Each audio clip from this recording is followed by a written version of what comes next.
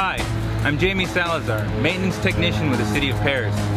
Today we're here on D Street in downtown Perris. D Street is one of the most unique locations in the city. It has a number of historic buildings from the past and is harmoniously connected with modern business design. City staff takes great pride in the maintenance and upkeep of downtown D Street with nicely landscaped flowers and plants, as well as maintaining the sidewalks and street parking. Whenever you're in the area, drive on through and enjoy the tree-lined beauty. Take a look at the work and effort from city staff in maintaining the beauty of downtown D Street.